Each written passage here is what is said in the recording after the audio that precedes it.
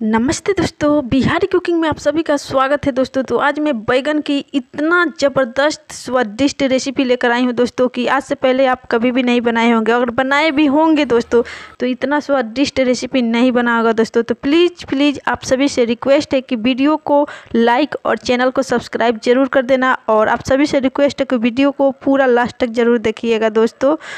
यकीन मानिए दोस्तों, ये रेसिपी आप सभी को बहुत पसंद आएगा। इसलिए मैं आप सभी से रिक्वेस्ट कर रही हूँ कि चैनल को सब्सक्राइब करके ही आप लोग जाना दोस्तों। तो ये बैगन है दोस्तों और बैगन के चार फारों में कट कर ली हूँ और अंदर देख ली हूँ कि इसमें कीड़ा तो नहीं है दोस्तों और बैगन जितना नाजुक मिल जाए, उतना ही सही होगा और उतना ही ज़बरदस्त टेस्टी रेसिपी ये बनेगा दोस्तों बैगन का, वो भी बिना टमाटर के दोस्तों। तो मैं अभी इस बैगन को कट कर ली थी और धोकर आप सभी से दिखा रही थी। थी और अंदर देख भी ली थी कि कोई कीड़ा तो नहीं है। उसके बाद मैं इसको उबालने जा रही हूँ। नमक, हल्दी डालकर इस बैगन को उबालना है दोस्तों। बस दस मिनट तक लिए उबालना है दोस्तों। तो दस मिनट हो चुका है दोस्तों और बैगन अच्छे तरीके से उबल चुका है। नमक इसलिए डालते हैं ताकि बैगन में अंदर तक नमक पहुँच जाए, ताकि रेसिपी स्वादिष्ट लगे और अंदर नमक पहुँच जाता है तो अच्छा लगता है दोस्तों।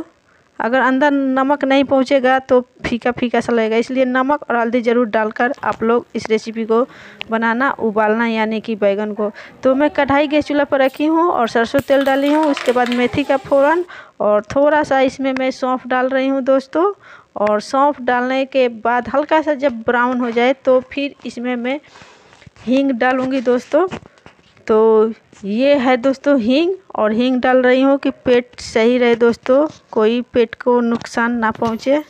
और उसके बाद चार मीडियम साइज़ के प्याज को मैं बारीक काटी हूँ दोस्तों स्क्रीन पे देख लीजिए किस शेप में काटी हूँ, उसी शेप में आप लोग बारीक काट लेना। उसके बाद प्याज को दोस्तों गोल्डन ब्राउन तक भूनना है दोस्तों तो ये देखिए गोल्डन ब्राउन हो चुका है। उसके बाद ये दो गांठ लहसुन का पेस्ट है दोस्तों, और पेस्ट डालने के बाद थोड़ा सा इसमें मैं पानी डाल देती हूँ। उसके बाद बाकी के मसाला इसी में मैं डालूँगी दोस्तों। तो दो चम्मच में लाल मिर्च पाउडर डाल रही हूँ। आप लोग अपने हिसाब से लाल मिर्च पाउडर डालना दोस्तों। और दो चम्मच, छोटी चम्मच से मैं जीरा, काली मिर्च मिक्स पाउडर डाल रही हूँ दोस्तों। और एक चम्मच, बड़े चम्मच से मैं धनिया पाउडर डाल रही हूँ। और एक चम्मच हल्दी डाल रही हूँ। उसके बाद अच्छे से मसाले को मिक्स कर लेती हूँ। मिक्स करने के बाद दोस्तों इसमें स्वाद अनुसार नमक मैं डाल रही हूँ। तो आप लोग स्वाद अनुसार, अपने स्वाद अनुसार नमक इसमें डाल लेना। नमक डालने के बाद अच्छे से मिक्स कर लेंगे। मिक्स करने के बाद इसमें थोड़ी सी मतलब आधा चम्मच के करीब आप लोग गरम मसाला डाल लेना और अच्छे से मिक्स कर लेना। मिक्स करने के बाद ढककर इस मसाले को पकाएँगे दस मिनट के लिए दोस्तों। तो दस मिनट हो चुका है दोस्तों, मसाला को पके हुए। ये देखिए तो दस मिनट के बाद इसमें मैं अचार का मसाला डाल रही हूँ दोस्तों, ताकि टमाटर का स्वाद इसमें आए और थोड़ी सी आधा चम्मच के करीब चाट मसाला भी डाल रही हूँ, ताकि ऐसा ना लगे कि इसमें मैं टमाटर नहीं डाली हूँ तो इसलिए आप लोग अचार का मसाला और चाट मसाला ज़रूर डालना। उसके बाद मैं इसमें एक गिलास के करीब मैं पानी डाली हूँ और पानी डालने के बाद इसी में मैं उबले हुए बैगन को डाल देती हूँ दोस्तों। सभी बैगनों को डालकर अच्छे से मिला लेती हूँ। ये देखिए कैसे मैं मिला रही हूँ, ताकि रस में अच्छे से डूब जाए।